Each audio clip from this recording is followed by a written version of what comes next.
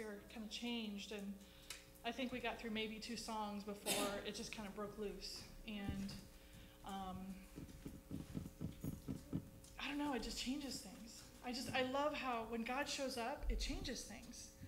And it didn't just change things there. I feel like um, Mike released me to pray. Um, he was calling for the prayer warriors to come pray for each other, and they were all looking at him like, You want us to pray for each other? What? You want me to get up and pray How- for how do somebody? do? How does that work? Like, nobody moved. and I, I think that's a testament to how we're just so used to pouring out to each other and ministering to each other that it just is second nature. So Mike looked at me, he's I'm like base off, gone, you know. And God had words for like everybody in that room. I didn't want to scare Roberto's friend. I think that was I think it was a new new environment for her. I don't think she'd ever been part of a uh, Holy Ghost filled environment, so to speak, because we drove. But God had amazing things to say to every single person in that room. And the very last person I prayed for was the person that that organizes these prayer burns. And he was already out on the floor. He was already, you know, he was kind of sitting up, kind of looking dazed, like, wow, you know, in one of those God moments. And God showed me that these prayer burns, our house of prayer, these all of these houses of prayer, they're rivers of oil that are on fire. And I saw that this oil soaked into the ground where these where these prayers and this worship was being poured out, where people were pouring out their hearts. And this oil caught fire. And it transformed the nations where those prayers were being spoken out. And I, and I just, I, I, I haven't been able to get rid of that vision. I don't think it was just for him. I think it's all of these houses of prayers. I think it's this place. I think that's why things happen here. And it, I, I the, the, the, the visual of it was so amazing. But when we pray, out of our belly shall flow rivers of living water. It is, it is so much more than just water. It is the oil. When our cup overflows, when that anointing flows and it catches fire, it changes things. And oh, we don't even know. Like, I just saw the harvest coming because it enriched the ground so much. That's how that that multiplication, how you know the, the, the harvest shall be ten times, five, you know, more than you can imagine. Because that oil and that fire transforms the land it touches. It changes the atmosphere and it and it does something. Once that once it changes, once that land is claimed for the Lord, the heavens can open. And God is it, God comes in a way that's so special and unique. And, and not that there's anything special unique about that place or that house of prayer, but just the people who come. And it's so precious to him. He kept telling, he kept, the Lord kept giving so many people where every prayer you've prayed, every tear that you've wept, mm-hmm. are treasures to God. They are precious to him. There are women in that room who I know had been praying and seeking God for who knows what. But God wanted all of us to know our prayers, our yearnings, our troubles, our woes, everything that we come to Him, every word we speak to Him is a precious treasure to Him. The Bible says He stores those, He stores them up. They are precious to Him. So no matter what's going on, no matter if we feel like we're praying to the ceiling sometimes, or no matter, you know what, when we pray, when we take a moment and we just forget all around us and we look to God, He treasures those times. And so I just want to encourage us today to, we're shaking it up again this morning. God is not done. Uh, what, what happens in those houses of prayer always spill over into our services, and I um, am excited to see what God's going to do. And I hope everybody is ready to saddle up and ride this morning. So, in Jesus' name. All right. Yeah, Roberto. to to add to what you were saying, uh, you know what happened last night. I was thinking about that, and and to me, being able to participate in events like that gives us the opportunity to step away from not only for us but for other people from the religiosity of things, if you want to call it that, because I think that's what God wants. It, you know, it's only one church. It's not ten million churches that that were founded. It's just the one, the Church of Jesus Christ. And and I think that gives us an opportunity to actually truly connect with Him and come all together. And I think events like that is what's going to bring the church together from all parts of the world. I had an opportunity last weekend to visit a, a church that I was invited to over in Johnston. Um, it was very different, the service. I'm not saying that it was bad. I, I really enjoyed the message. Um, but I didn't feel the things that I feel here. And, and when I saw that as an opportunity to talk about some of the people that were there, uh, along with the ones that invited me, about things that happen here, and it, it kind of awakens that curiosity. Hmm, I wonder what are they doing that God's manifesting this way, that's not manifesting here, and things like that. And I think that's what's going to start getting people to come together and, and, and once we get rid of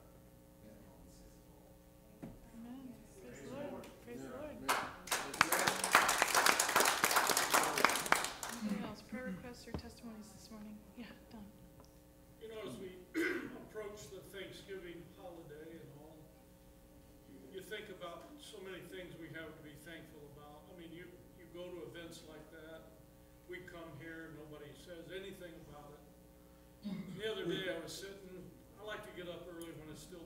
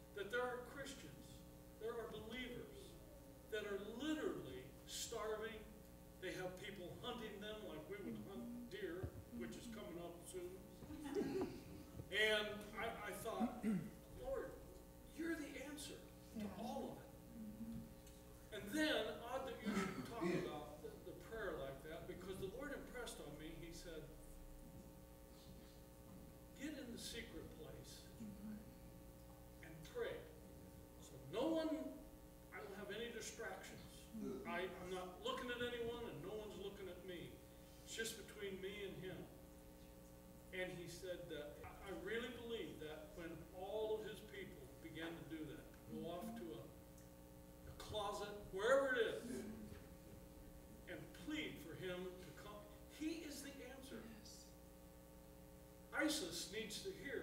Jesus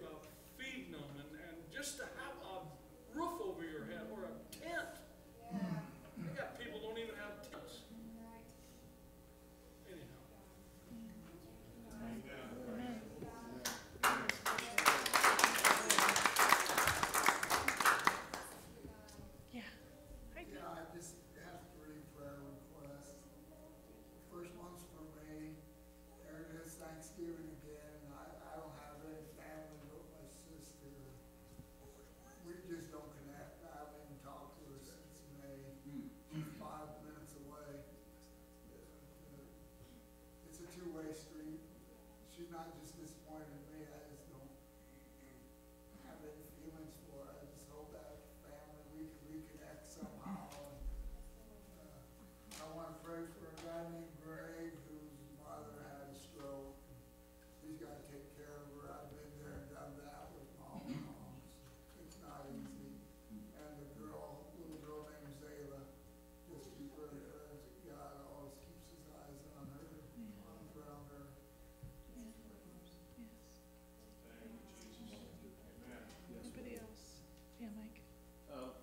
Cindy, uh, we spent the whole night up last night, her coughing every twenty minutes because she couldn't breathe.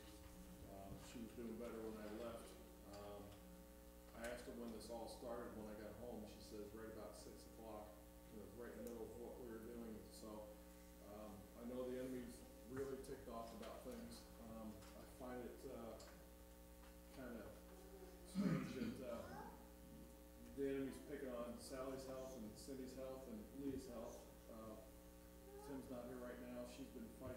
too, and I, I don't, it, it's mostly unseen things. It's indescribable, the doctors are just scratching their head and, well, let's try this, let's, they're guessing, they're practicing their medicine as we know it. Um, so I just pray for whatever it is in the unseen realm to be bound off right now in the name of Jesus Yes, and declare to health. yes. Um, I told her to text me if she needs the ride to the hospital, and that's how close it is, okay? But I'm believing in God's healing and restoration, and if y'all stand with me for Sally and for Lee, uh, for all those that are facing health issues in this place right now, we're claiming those stripes, Um, her healing, can we just, can we just pray right now? Can we just pray right now for healing for those who need it? Sally, do you wanna come stand in?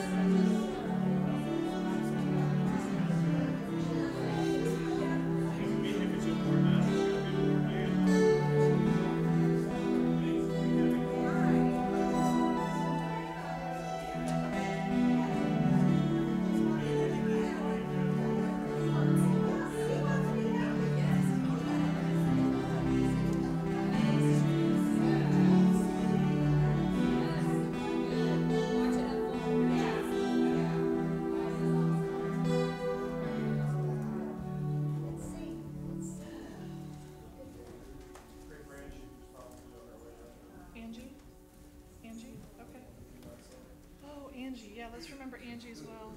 Um, yeah, for those in the neighborhood. I don't think Angie's the only one that needs to come and hear a message of hope, a message of acceptance, a message of love. There's so many.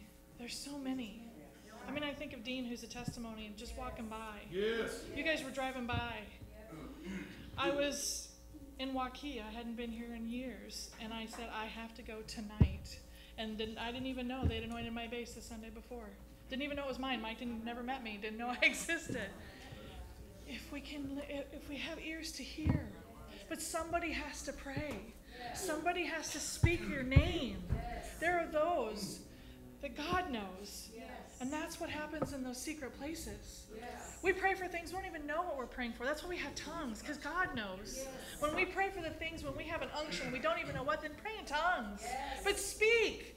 We have to speak out. We have to pray. You know, I, I- yeah, sure. I,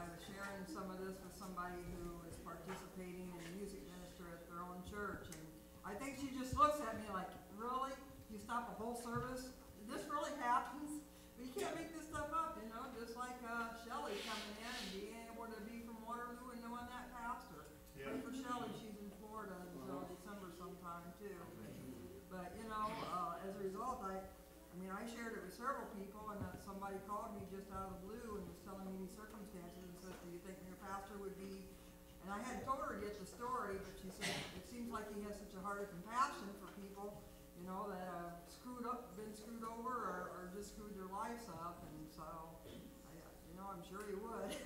but you know, um, that like he says, that's what it's all about. So yeah, it may be inconvenient for us, but people's looking for somebody that really cares. Yes. yes. The needs are just so phenomenal. When you start sharing these stories, it's like, well, would your pastor talk to me?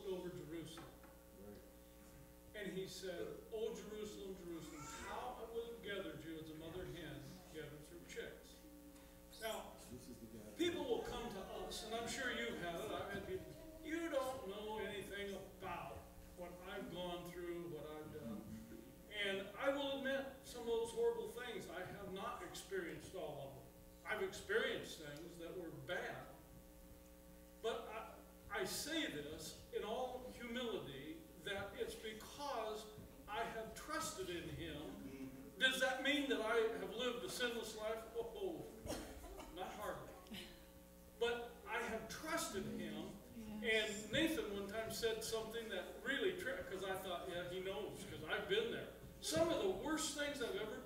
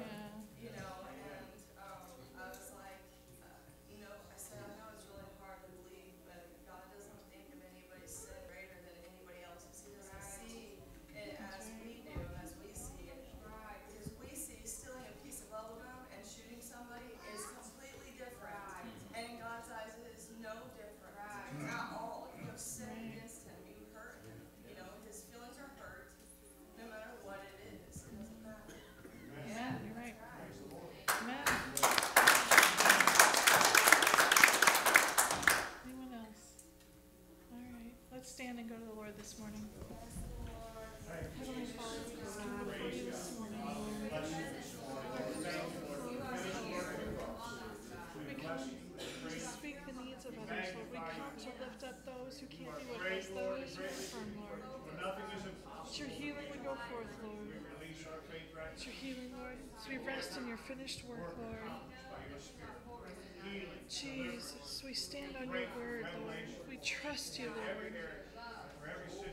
Oh, Lord, that we would speak words of comfort, Lord, of invitation to come under the shadow of your wing, Lord, to know that that is the safe place, Lord. That is the place where you work in our hearts and our minds, Lord, where you transform us from glory to glory in those intimate moments with you, Lord.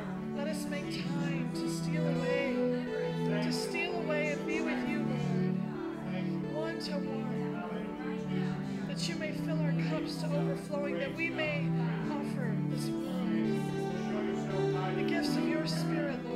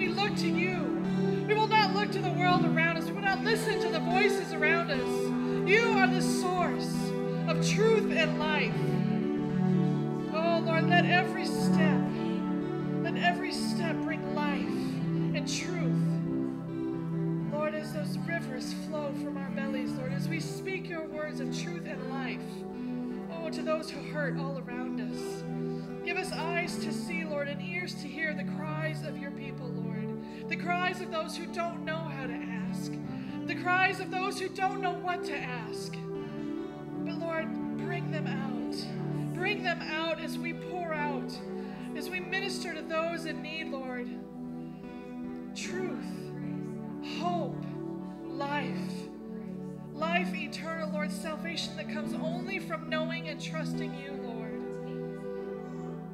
We thank you, Lord, that you have called each of us by name. We thank you that you have chosen us for this time, for this hour. Oh, Lord, be with us this morning, Lord, as we continue to lift you up and magnify you, as we worship in spirit and truth. Oh, how we love to worship together in your presence. And let your word come forth. The seed come forth and bear good fruit, multiplied in the good soil. Oh, thank you, Lord. Thank you that all your promises are yea and amen. Be with us this morning in Jesus' name.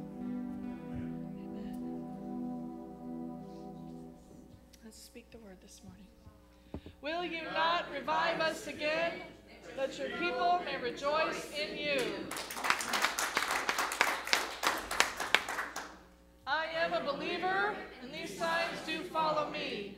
In the name of Jesus, cast out demons. I speak in new tongues. I lay hands on the sick, and they do recover. Christ has redeemed me from the curse of the law. Therefore, I forbid any sickness or disease to come upon this body. Every disease, germ, and every virus that touches this body dies instantly in the name of Jesus. Every organ and every tissue of this body functions to the perfection to which God created it to function. And I forbid any malfunction in this body in the name of Jesus. Yes, Lord. I receive the spirit of wisdom and revelation and the knowledge of Him, the eyes of my understanding being enlightened, and I am not conformed to this world, but am transformed by the renewing of my mind. My mind is renewed by the word of God. Yes, Lord. Lord rebukes the devourer for my sake, and no weapon that is formed against my finances will prosper. All obstacles and hindrances to my financial prosperity are now dissolved. The Lord has pleasure in the prosperity of his servant, and Abraham's blessings are mine. Uh, Don and Toby, you want to come take the offering this morning?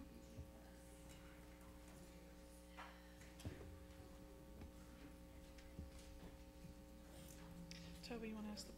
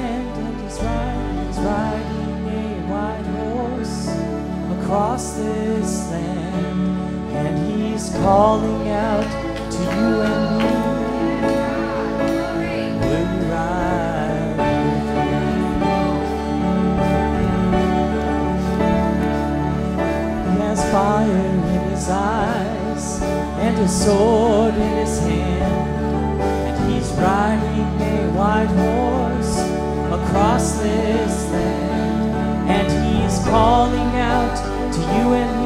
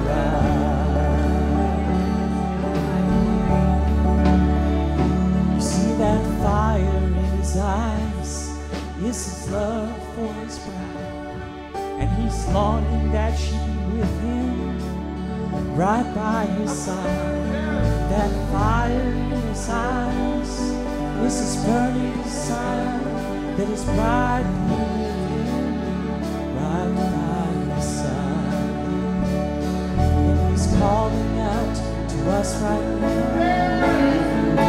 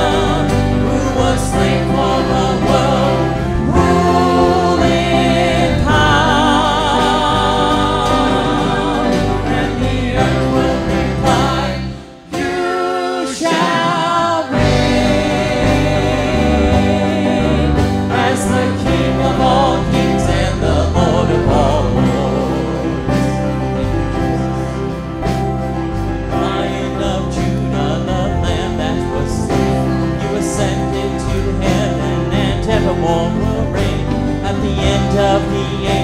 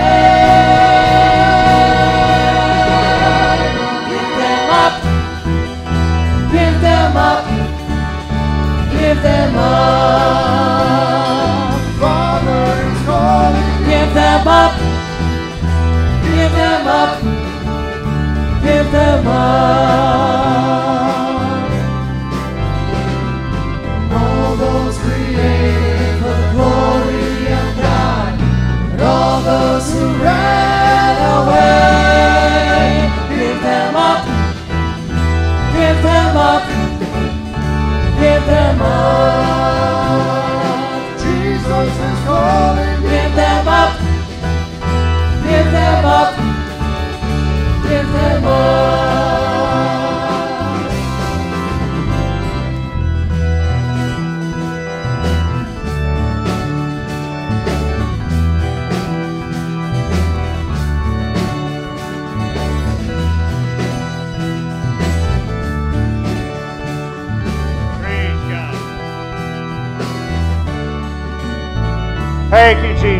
Glory to God. Hallelujah, Lord. We praise you this morning. We bless you, Lord. Thank you, Lord, for your faithfulness. Praise God. Praise God. Praise God. Hallelujah, Jesus. Thank the Lord. Glory to God. Glory to God. Hallelujah, Jesus. Hallelujah, Jesus. Praise God. Praise God. Amen. Amen. God bless you. You may be seated. Sunday school kids can be dismissed. Thank the Lord. Thank you, worship team. Thanks, Mike. Amen. Thank all of you for sharing your testimonies and positive words for the Lord. Amen. It's always a blessing. Praise God. Also, want to thank uh, Roberto for uh, stepping in for me a week ago last Wednesday. And uh, also, Tim, who who preached for me last Wednesday. They're not here today, but amen. Anyway, I appreciate very much those guys stepping up and uh, taking care of business. Praise the Lord. Hallelujah. Well, happy Thanksgiving early to everybody. Hope you all uh, can have a day where uh, you can express your thanks to the Lord and uh, and enjoy a friendships and family and whatever that holiday means to you. Praise the Lord. But uh, thank the Lord. We all have so much to be thankful for, even even with the negatives that we have in our life. Praise the Lord. And we all got that too, right? Praise the Lord. But the positives, amen, they outweigh the negatives. Hallelujah. When God is for you, who can be against you? Amen. Thank the Lord. Okay, well, I'd like to start with the book of Acts, chapter 1, verses 1 through 8, Sheila. Acts chapter 1, verses 1 through 8. Praise God.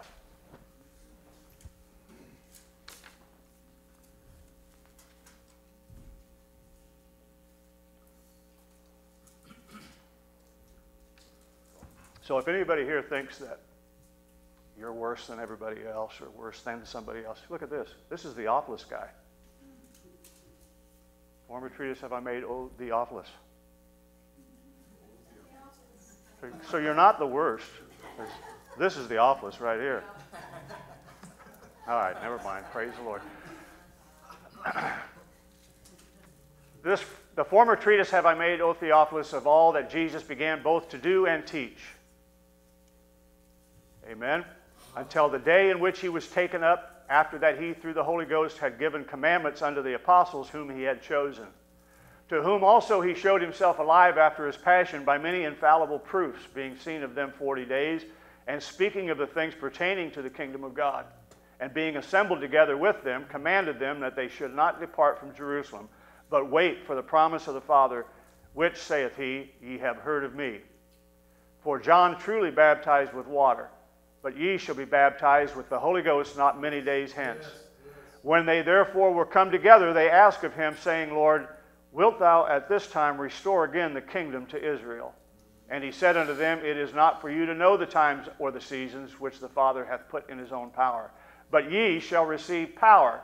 After that, the Holy Ghost is come upon you, and ye shall be witnesses unto me both in Jerusalem and in all Judea and in Samaria and the uttermost parts of the earth. Praise the Lord. Okay, so this book of Acts is the beginning of all that Jesus said and did. Just the beginning. It's not all of it, but it's the beginning of everything that he said or did. Amen. And it actually ends up with him doing everything else through us. Praise the Lord. So let's go to Luke chapter 4, verses 18 and 19. Luke 4, 18 and 19. This is Jesus' first message. Amen. Having come out of the wilderness, filled with the Holy Ghost, having been tempted by the enemy, and uh, he, he comes to a synagogue, a synagogue that was obviously one where everybody knew him. It must have been close to his community where he grew up because they, they, they knew who he was. In fact, they say things like, Isn't that Joseph's son that you know, is doing this? So here's what he says The Spirit of the Lord is upon me because he hath anointed me to preach the gospel to the poor. He has sent me to heal the brokenhearted, to preach deliverance to the captives, and recovery of sight to the blind, to set at liberty them that are bruised, to preach the acceptable year of the Lord. Now, in a microcosm, if you will, in a, in a, in a condensed version, if you will, this is Jesus' ministry. This is it. Spirit of the Lord is on him. So the Spirit of God has come upon him, just like in the book of Acts, he tells us that the Holy Ghost will come on you to what? To do what Jesus did. Yeah. we're doing all kinds of stuff that has got nothing to do with what Jesus did, and we're saying it's by the Spirit. So, anyway, the Spirit of the Lord is upon me because He's anointed me to preach the gospel to the poor. What is the gospel? Grace. Yes. That's the good news. That's the gospel. To preach the gospel to the poor. He sent me to heal the brokenhearted, to preach deliverance to the captives, and recovery of sight to the blind, to set at liberty them that are bruised, to preach the acceptable year of the Lord. Hallelujah. So Christianity is not about good people getting better. Praise the Lord.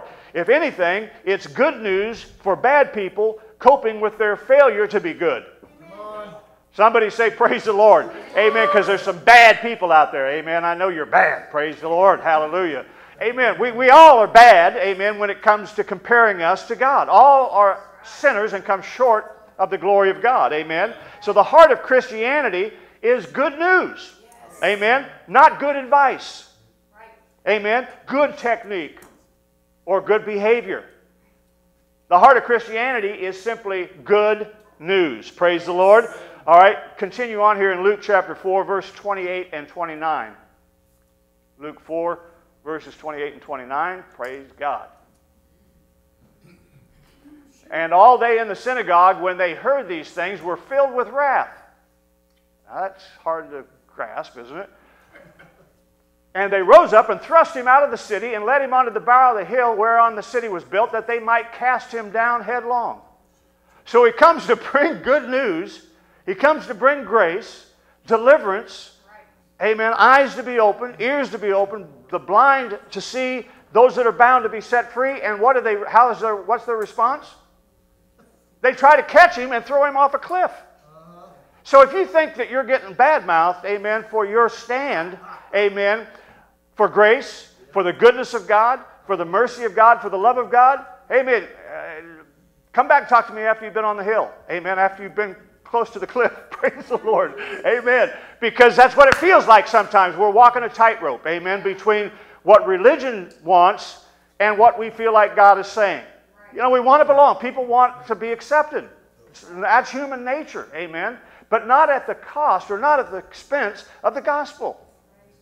Praise the Lord. Amen. See, too many people have walked away from the church. Not because they're walking away from Jesus, amen, but because the church has walked away from Jesus.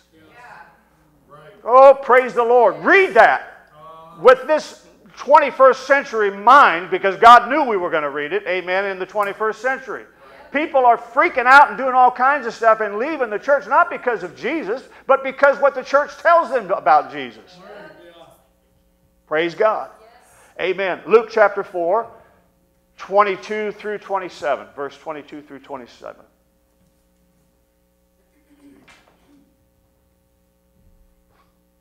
And all bare him witness and wondered at the gracious words which proceeded out of his mouth. This is just prior to them trying to throw him off the cliff, and right after he brings the good news of setting captives free and healing the sick, so on and so forth.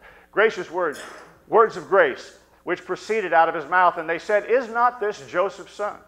And he said unto them, You will surely say unto me this proverb Physician, heal thyself. Whatsoever we have heard done in Capernaum, do also here in thy country. And he said, Verily I say unto you, no prophet is accepted in his own country, but I tell you of a truth. Many widows were in Israel in the days of Elijah, Elijah, when the heaven was shut up there three years and six months, when great famine was throughout all the land. But unto none of them was Elias or Elijah sent, save unto Sarepta, a city of Sidon, unto a woman that was a widow. Now, this is a slap in the face to these religious people that are sitting in this synagogue because what he's telling them is there's all kinds of, uh, you know, uh, starving people and people with needs and wants here in Israel. Right. But the prophet wasn't sent to them. The prophet ends up going to a Gentile who was outside the church, amen, who was not a part of the religious organization to meet her need. Praise the Lord. And many lepers were in Israel in the time of Elijah the prophet or Elijah. And none of them was cleansed except for Naaman the Syrian, who was another Gentile or another person outside of the religious system. Amen. Jesus is trying to tell these people, you, what you do doesn't draw God. Amen. Right. Amen. It's what you believe right. that will make God show up or manifest, amen, in any given situation right. or circumstance. Amen. So it might not be an overstatement to say that if Jesus came to proclaim good news to the poor, to release the captives, to restore sight to the blind, amen, and to give freedom to the oppressed, then Christianity has come to stand for and practice the exact opposite of what Jesus intended. Somebody say amen or oh man. Praise the Lord. Hallelujah. I don't mean Christians don't believe in grace. It's that the church have a hard time with grace alone. Yeah.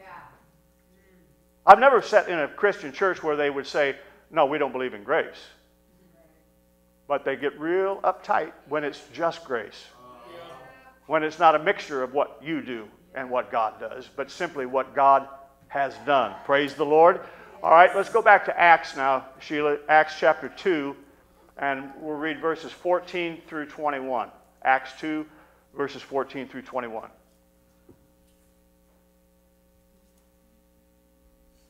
Peter, standing up with the eleven, lifted up his voice and said unto them, Ye men of Judea, and all ye that dwell at Jerusalem, be this known unto you, and hearken to my words. For these are not drunken, as you suppose, seeing it's, the fir- it's but the third hour of the day, which is like 9 o'clock in the morning. He doesn't know me. Amen. Praise the Lord. I, used, I work nights. One time I get off at 7 o'clock in the morning. I was at the bar a quarter after. Of course, I told myself it's because it's really dinner time for me. Praise the Lord. Uh, well, anyway, let's move on to the, somebody else's issues. But this is that which was spoken by the prophet Joel. And it shall come to pass in the last days, saith God, I'll pour out of my spirit upon all flesh. Let me just go back to the book of Joel. We're not going to do it now, but you can go back and look it up. Uh, what Joel actually prophesied was more than just that, you know, your sons and your daughters will prophesy and all this. But if you go back to the verse before, Joel was prophesying that God would be gracious or show grace to his people. And that they would no longer be ashamed. There would be no condemnation, no self guilt, no shame for them. That was the message that was coming. Praise the Lord. And it'll come to pass in the last days, says God, I'll pour out my spirit upon all flesh. Your sons and your daughters shall prophesy. Your young men shall see visions. Your old men will dream dreams. And on my servants and on my handmaidens I will pour out in those days of my spirit, and they shall prophesy. And I will show wonders in heaven above and signs in the earth beneath, blood and fire, vapor of smoke. Praise the Lord. And the sun shall be turned into darkness, the moon into blood, before the great and notable day of the Lord come. And it shall come to pass that whosoever shall call on the name of the Lord, whosoever shall call on the name of the Lord shall be saved. Praise the Lord. Amen. Not, not because you're of this religion or that religion or because you've done this or done that, but because you've called on the name of the Lord, He will be gracious, amen, unto you. He'll give you grace. Praise the Lord. Hallelujah. Amen. And I, I just believe that it, it's time to abandon once and for all, amen, our play it safe religion and let's get drunk on grace. Hallelujah. These are not drunken as you suppose. It's only 9 o'clock in the morning, but they're acting crazy. Amen. How, how many know you lose inhibitions when you drink? Well, that's the danger of it. It's the, it's the blessing and it's the danger. Amen. And it's like with drugs or anything else, you lose all your inhibitions. Why? Because you're not self conscious. Woo. That's why they seemed to be drunk, because they didn't care what anybody thought. God had shown up, amen, and delivered them. They knew that that's not about what I'm doing anymore. It's what God has done. And whoa, this makes me high, high, high, high, high. Praise the Lord. It really gets me off. Yes. Praise the Lord. Did you get a hit? well, that's just for a small segment of this group, but hallelujah. Amen. Praise the Lord. Yeah, I felt that. Praise God. I got it. Amen. This is not belittling God. I'm just saying they used the metaphor. God used the metaphor. I'm just using what God used. Amen. And we need to get drunk, hallelujah, on grace. We need to quit worrying about everything else, quit dealing with everything else, and focus on the one thing that sets us free, that gets us out of ourselves, that gets us out of our hang ups and our inhibitions and our problems. Amen. And just throws them all onto Jesus so that we can be the little children, amen, guilt free, innocent, that He intended us to be, that He died, amen, for us to be. Praise the Lord. Hallelujah. Amen. That is the only thing, amen, that can set us free and light the church and light the world on fire. Praise God. Hallelujah. I mean, I, I, I preached some Pentecostal stuff, hallelujah, in my time. Amen. And I, I've, I've talked about the power, and I've, I've believed in the power, and I've seen some of the power, hallelujah. But I'm convinced it only happened because of God, not because of how much I was praying at the time or how much I had fasted in order to see it. God just shows up and said, Here, it's free. Enjoy it. And before the church is ever going to operate in the prophetic word that, that Joel spoke and that was then uh, spoken back again by Peter on the day of Pentecost, we're going to have to learn to embrace grace and grace alone because God is not going to share his glory with another. Amen. Nobody, no Benny Hinn, no Nathan, no, no uh, anybody, you name a, a preacher, a, a prophet, a, a, a, healing evangelist, whatever you want to call him, you name one, amen, and I'll name you a liar, amen, if he says it is his gift. Amen. There's only one anointing. One. And his name is Jesus, the anointed one. That's what the Messiah means. You get Jesus, you get the anointing. You get as much anointing as anybody gets. It's the same measure, amen, for everyone. It's the fullness of the Godhead. Every living, believing Christian has the power, whether they know it or not, to operate in the supernatural. And in fact, they're operating in the supernatural even when they don't know that they're operating in the supernatural. Praise the Lord. But you'll never have the confidence and the boldness to step out and act on it without grace. Because the devil will continuously throw up every failure, every weakness, every thought, every attitude, everything that could possibly come between you and a miracle. But he has just given us good news. We've been set free. Our eyes have been opened. Hallelujah. We're no longer bound by the pain, by the bruises, by the suffering that otherwise we'd be dealing with. Amen? I wish I could say, like Don was talking about earlier, and it's true of all of us, I'm sure, if we stop and think about it for a moment. But I'd like to be able to say everything I do, uh, I do it for God. But I don't. I can't say that and be honest. Praise the Lord. But Jesus' blood covers all of my efforts to glorify me. Praise the Lord. I wish I could say that Jesus completely, totally satisfies me. But I'd be lying because he doesn't. I know that may cause some of you to reevaluate your, your uh, you know, feelings about me, but the good news is Jesus satisfied God for me. Yes. Praise the Lord. God is satisfied with me. Not because of me, because of Jesus. Hallelujah. The gospel tells of a great reversal. A reversal in which acceptance precedes achievement. Mercy comes before merit. That is the good news. That is what the gospel teaches. Amen. Let's look at these scriptures. Romans chapter 5, Sheila, and we'll just, I'm only interested in verses 6, 8, and 10 simply for the context, okay? Romans 5 and verse 6 to begin with.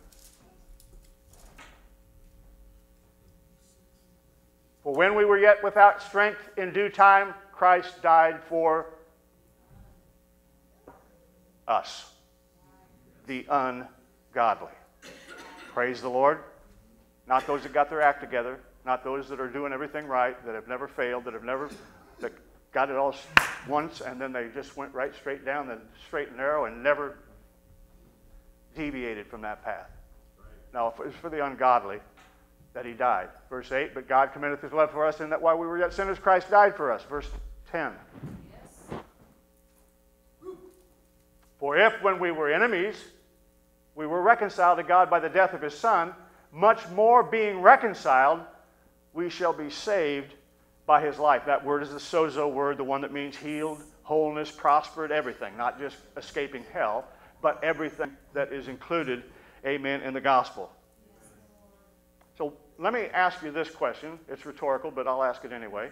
Why doesn't our gospel seem much like Jesus' gospel. I spent a lot of time, Sally will tell you, I, talk, I talked to her about different times over the years, but I'd, I'd look through here, through the Gospels, and I'd read what Jesus was doing, and I'm saying, you know, I don't see this in church. I don't see his ministry being replicated. And I'm not talking about the, the amount of miracles, although that would come, but the way we reach out to people, the way we minister to people, to one another. It's, eh, what we do in church is so radically different than what Jesus did. So it's, it's no wonder that we don't get the kind of results that Jesus got. Praise the Lord. The truth is, Christians do have the greatest story ever told. The problem is, most of them just aren't telling it. They're telling their denominational story. They're telling their particular uh, experience story. They're telling everything except what Jesus said and what Jesus did. Amen. Praise the Lord. Look, in, in, in, the Bible, in Genesis, you don't have to go there, Sheila, because I think everybody's familiar. Genesis 1 starts out with relationship, peace, abundance. Everything's good, right? It's not till, till Genesis 3, amen, that sin shows up. Praise the Lord. But when we begin with sin, instead of Genesis 1, when we start telling the story beginning with Genesis 3, we are bastardizing or distorting, amen, what the scripture's actually saying, amen. Because what happens is when you tell the story that way, you feel spiritually naked. Amen. You feel shame. Praise God. You feel guilt. You feel condemnation. Why? Because it distorts. Those things always distort. But that's not where the story starts. Amen. It starts with relationship. It starts with beauty. It starts with peace. It starts with God and man. So are we Genesis 1 Christians or are we Genesis 3 Christians? That's the question that God asked me. Which are you, Nathan? Now, it's, it's true after Genesis chapter 3, we are sinners. But we're still made in the image of God. No matter how broken that image is. That's what God told me. We were children before we were runaways. Praise the Lord. We were His offspring before we became rebellious. Think about it. When a temple, no, you're not, you are the temple of God. When a temple gets destroyed, all that's left is rubble. It's still a temple. Right? Somebody come along, that's that was the temple. It's just a pile of rocks and dirt and dust now, but it's still the temple. It's still a temple. Amen? A broken, a cracked, a messed up temple, yes. But it's still a temple. It's a broken temple that cannot fix itself.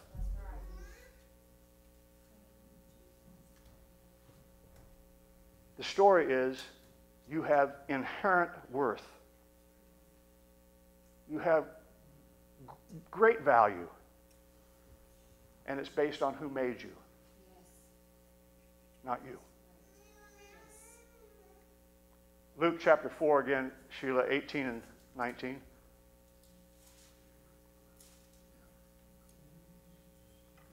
The Spirit of the Lord is upon me because He hath anointed me to preach the gospel to the poor, sent me to heal the brokenhearted, to preach deliverance to the captives, recovery of sight to the blind, to set at liberty them that are bruised, to preach the acceptable year of the Lord. The story isn't about sin. We've made it about sin. We've made it all about Genesis 3, and everything from then on, all we ever want to talk about, I'm talking about the church and religious, is a sin. So it's all about sin management? No, it's not. It's not about sin management. It's about restoration of all things. Of all things. Praise the Lord. God's putting His world back together, and He's using the very people who broke it to do it. Hallelujah. He's got a sense of humor, church. Amen. I mean, think about it all throughout the scriptures. When, when Joseph's brothers sold him into slavery, who was the benefit, who was the beneficiary, let me say, of his being imprisoned and uh, beaten and lied about and everything else? Who, the ones who put him in prison.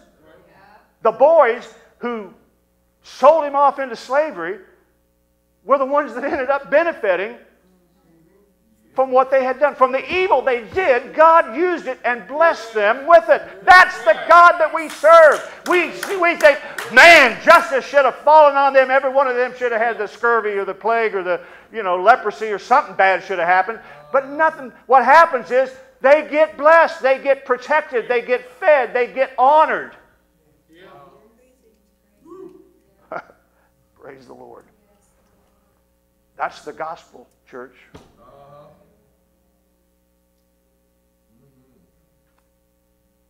God is recreating, remaking everything in the person of Jesus himself. And we have a tendency to use formulas and we turn our church story into an assembly line. Right. And I mean, this, this is an example for you. I'm, I'm, not, I'm not against praying prayer for salvation, but there isn't any in the Bible. There isn't any prayer in there that says, Jesus, I, I receive you as my Savior, and I, I confess all my sins, and now please forgive me and take me to heaven with you. It's not in there. Whosoever shall call upon the name of the Lord will be saved. It's not a rote prayer. It's not some liturgical thing that we go through. And that's true for everything. I, am all for altars and people coming and praying. I've, I've done my share of it over the years, but I'm saying this that's, that's an expedient. It, it's actually even a Philistine expedient. It's not biblical, it's just what we do because at some point we were so hurting and, and so messed up we had to cry out to God, and so we fell on our face somewhere. And the church said, hey, that worked, let's, let's do that. So now, every time somebody is crying out to God, we want to bring them up to the front and put them in the thing, and everybody do their stuff. Because that's become an assembly line approach where God is a one on one.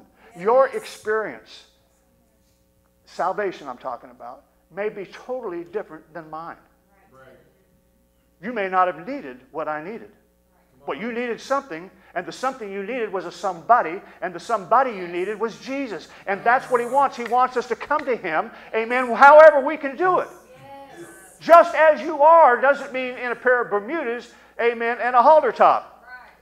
I mean, it can be, but that's not. That's what we tried to make it into. We've tried to say, okay, so now it's just come as you are. It doesn't matter how you look, and it doesn't. But we've substituted our attire right. for attitude. It's just. Anybody ever have a come to Jesus moment? Where you just realize if, if he's not real, I'm sunk and Jesus, show me that you're real. I mean, that's the way it was for me. It was just, God, if you're real, do, you got to do something because I'm, I'm out of control here. I can't do this anymore. Right. Now, that may not have been what you needed to say. You had something in your heart that was crying out to God for an answer, for a reality, for a truth. And so you did it your way. It's good. It's all good. But to try to give people three steps to Jesus programs and, and you know, uh, an assembly line kind of punch it out here like this. It doesn't work for people, and that's why somebody comes along and I tell them, now this is what I did. Do this. And God dramatically changed my life, and He'll do it for you. And then they don't have the same experience, and they're going, He must either be a liar, amen, or God won't accept me. Come on. No, God wants you. He doesn't want many me. Come on now. Praise the Lord. He wants you to have the relationship with Him, not some voyeuristic, secondhand Nathan relationship. He wants it to be your relationship. He wants you to have the relationship. Whatever that is, however that turns out to be, will be a good thing. Because He'll give you what you need, not what I needed. He'll give you what's deepest in your heart that you don't even maybe know how to ask for. Hey, I had issues I didn't even know I had. I had the, the big ones were so big that I couldn't see all the rest of them. So I wasn't even asking for help with those areas because I didn't know I needed any help. I thought it was just this thing. There's a couple of deals here. That's my issue, you know. The truth is, the reason I had those issues because I had all kinds of other issues that I didn't know that I had, which was causing me to act out in certain ways. And I actually took Psych 101. I should have known that. But even if I knew it, I couldn't do anything about it. Praise the Lord. Hallelujah. Jesus, if I've learned anything about Jesus, I've learned he doesn't like formulas. He doesn't like cut and dried procedures. Do it like this. Everybody do it like this. He dealt with everybody individually, whatever their situation was. He dealt with them because they had the issue. Not the guy that he had just healed uh, two hours before. This is a different guy in a different situation with a different mindset, with a different background, with a different issues. Amen. And he wanted to bless him. He wanted to be in relationship with him. Yes. I don't want to just carry over the last relationship that I had with somebody else and, and make you anybody. It, it, look, it's like being married, divorced, and remarried. You can drag all the mess from the last one right into the next one. Has nothing to do with that person. The only common denominator is you. But we keep blaming the other person, and it's so weird because after four marriages, I keep getting these same stupid women. I, mean, I keep, I keep getting, I keep getting these dysfunctional women. What is it? Some kind of a you know, I mean, is it punishment from God? I mean, I was good to my mother. You, you understand what I'm saying? I'm being a little facetious here, but that's what we get. And, we, and it happens in any relationship. I'm just talking about marriage, but it can be in any relationship. You wonder why everybody's a jerk. Why is everybody so. Hey, I've had to ask myself this. Why is everybody so hostile? What in the is wrong with everybody?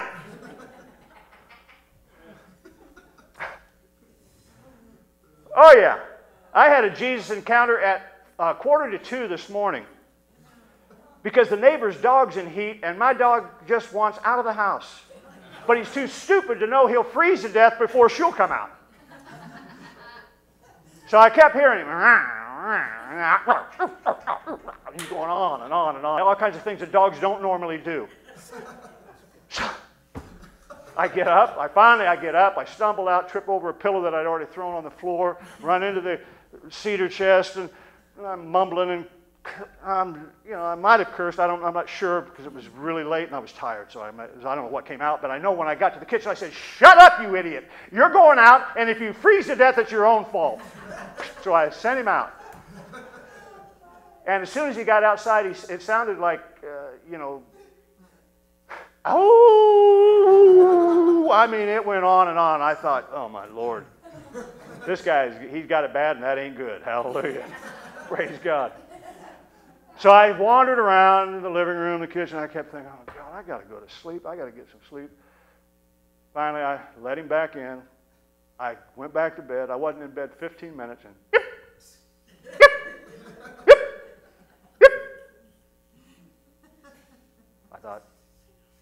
she doesn't get up and let him out, we're going to be listening to this all night. And we did. All night. Till about a quarter to seven when I finally got up and let him out again. And he wanders over to the lot line, sits right on the edge of the lot line because we got an invisible fence, and he sits right there and stares at their deck. Oh!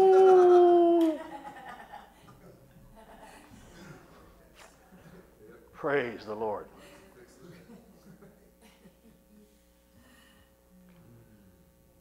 And now at my age, I don't even remember why I said that. I think from lack of sleep. I'm sure it had a. I, I'm sure there was a reason for it. Uh, maybe it'll come to me later. Praise the Lord. Anyway, pray for me and my dog. Hallelujah. Thank the Lord. I was reliving it. It was so real. Well, anyway, anybody want a dog? He's really a good dog. But uh, praise the Lord. All right, Leviticus chapter 16, verses 7 through 10. If I think of why I said all that, I'll, I'll tell you about it individually. Praise the Lord. It, it sounded like a really good reason to share, like there was something really solid behind it, but apparently not. Hallelujah. Leviticus 16, verses 7 through 10. Amen. And he shall take the two goats and present them before the Lord at the door of the tabernacle of the congregation. And Aaron shall cast lots upon the two goats, one lot for the Lord and the other lot for the scapegoat. And Aaron shall bring the goat upon which the Lord's lot fell and offer him up for a sin offering. But the goat on which the lot fell to be the scapegoat shall be presented alive before the Lord to make an atonement with him and to let him go for a scapegoat into the wilderness. Praise the Lord. And I think I've talked about this before, but it is just so uh, appropriate that, see, the second goat has always fascinated me. It's a goat that is sent out into the wilderness, never to be seen again. Amen? It's called a scapegoat. Well, Jesus wrapped up all of these symbols and these types and these shadows, all of these traditions in himself. So the goat is simply a shadow of the real thing, which is Jesus. Right. And we are called to take the deepest, darkest, worst sins that we've committed and reach out our hands and put them on Jesus. Yes. He took our sins to the grave like a goat to the wilderness. You know, there's a lot of people that are probably offended. If I was really to tell you everything, which I'm not a complete idiot, just kind of an idiot, so I don't tell you everything. But I tell you enough to let you know I'm all messed up like everybody else. Amen? Some people can't even handle the little bit that I do tell them, especially the religious people. You, you what? You how many? Yeah. So, you know, you see what I'm saying? But God knew all this Praise the Lord. Didn't make him nervous, didn't bother him at all. So I say a lot of these things not to draw attention to myself, not, not to, because, I mean, who wants to be humiliated? But on the other hand, I really believe what God said. I really believe that I am a new creation. Doesn't mean those things didn't happen. Doesn't mean that they, they go away, that, that they've disappeared. But in the eyes of God, they're out in the wilderness someplace and He doesn't see any of it. He doesn't know anything about it. I can repeat it all I want to. He doesn't even know who I'm talking about. Praise the Lord. That is the message people need to hear. It's over. It's been dealt with. Oh, but I just I, I just did it again. Past, present, future. No longer. There's just now with Jesus. Eternity with Jesus that covers every failure. Amen. He took our sins to the grave like that goat did to the wilderness. Amen? And the beauty is, he left them in the grave. Right. Praise God. We have new life, peace, forgiveness. We are a new creation. Evil doesn't win. And that's what people need to hear. Everybody needs to hear it. Let me well, let's, let's read this one more time and then I'll wrap it up. Luke chapter 4, verses 18 through 21. Praise God.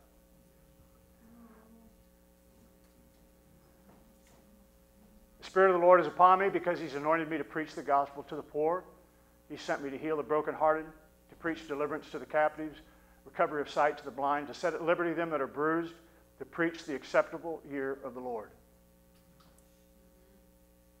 And he closed the book and gave it again to the minister and sat down, and the eyes of all them that were in the synagogue were fastened on him, and he began to say to them, This day is this scripture fulfilled in your ears. Yes. Yes. In the book of Acts, he tells us this book is all about everything that Jesus began to say and to do. The book of Acts is a continuation of the life of Jesus in the church, in the body. That is our ministry. There isn't any other ministry. There isn't any addition to that ministry. That is the ministry. That's yours. It's mine. because it was Jesus's. Amen? Evil doesn't win. Even when it looks like it wins, it still loses. Praise God. There's a story about a guy who, and I'll close with this, no more scripture. Um, his name was Eddie. And he lived near the beach. and every Friday, for over 30 years, people could set their watch and the calendar by this guy. Every Friday, he'd show up on the dock with a bucket of shrimp. And he'd walk out to the end of the dock and he'd hold that bucket. And pretty soon there'd be little white objects coming closer and closer and closer and closer until they would just be all over the, the pier, all around in the water. They were seagulls. And he'd start dropping shrimp. And with every shrimp that he would drop, he'd say, Thank you. Thank you. Thank you until he used up all of the shrimp that was in his bucket. He'd turn around, go back to his car, drive home. A week later, same thing. Everybody kind of thought he was just crazy Eddie, is what they called him. They thought he was just kind of nutty because they'd see him out there. Thank you. Thank you. Thank you. But what they didn't know was this Eddie was Eddie Rickenbacker, who during World War II, Franklin Roosevelt sent him and uh, I don't know what it was now, I think eight, six or eight guys, to this island for a mission, for a secret mission. They were going to fly off of this island and uh, bomb a certain part of uh, Japan. But they never made it because they shipwrecked or was torpedoed on the way to the island. And the only survivors were him and these eight guys in a raft. After eight days, their food ran out and their water ran out. And they decided to pray. So the group of them all began to pray. And they said, Lord, if you don't bring us some kind of food, we're going to starve. We have to have something to eat. A week went by. They hadn't had a bite to eat. They prayed again. They said, Lord, you've got to help us. We'll starve to death. If you want us to live, you've got to do something supernatural. After they had prayed and they were all weak and tired and burnt by the sun, they, he laid back, his head against the edge of the raft, pulled his cap down over his eyes, and started to go to sleep. And just before he fell asleep, he felt something on his head. And he thought, Lord, this opportunity. And like a flash, he reached up and grabbed it. It was a seagull, wrung its neck, and they ate that bird, everything they could eat. They plucked the feathers out of it, and they ate every other, They ate them, ate this whole bird, everything but the intestines. And the intestines they used as bait to catch fish. So then they could use the bait to catch more fish. And for 40 some days, they spent on this raft and survived because of this seagull. So every day, for the rest of his life, for over 30 years, he'd go down, buy a shrimp, take it out, and to these birds who didn't have a clue why he was doing this, he'd say, Thank you. Thank you. Thank you. That's what Jesus has done for us. And that's what Thanksgiving is about. That's what our lives are about. All we do when we reach out to somebody else is basically just saying, thank you. They don't know why. They're not connected. They don't know you. They don't know me. But we know him. And it's our way of thanking him. It's our way of saying, thank you for giving your life so that I could live. And help me to give something back to others. Amen? Give the Lord a hand clap this morning. Hallelujah. Amen, amen. He's a good God. And He's done everything that needs to be done. All we need to do, be thankful and share it with somebody else. Amen. God bless you all. Have a great Thanksgiving. Appreciate your patience this morning. Be blessed. In Jesus' name, amen.